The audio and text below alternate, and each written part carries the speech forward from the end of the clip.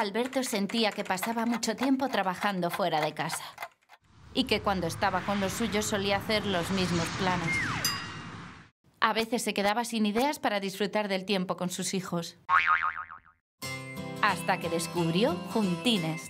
Ahora encuentra actividades divertidas para disfrutar en casa, lugares para ir en familia y las mejores ideas para navegar juntos.